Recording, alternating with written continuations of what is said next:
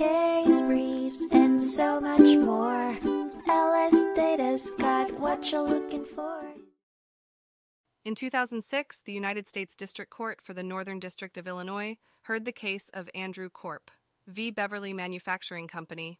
The case centered on the idea that attorneys cannot represent clients with conflicting interests without first obtaining informed consent from both parties, and they cannot represent multiple clients if a conflict of interest arises. Andrew Corporation accused Beverly Manufacturing Company of infringing on three of their patents related to telecommunication towers.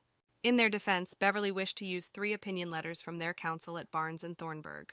However, Andrew filed a motion to disqualify Beverly's counsel and exclude the opinion letters, due to Barnes and Thornburg failing to recognize a conflict of interest between Andrew and Beverly, who were both current clients of the firm.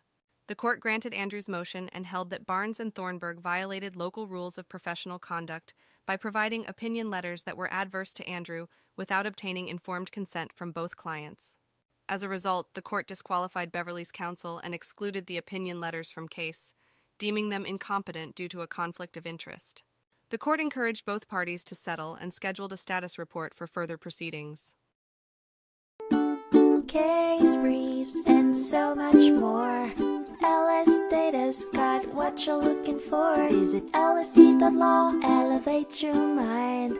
Leave the stress of class.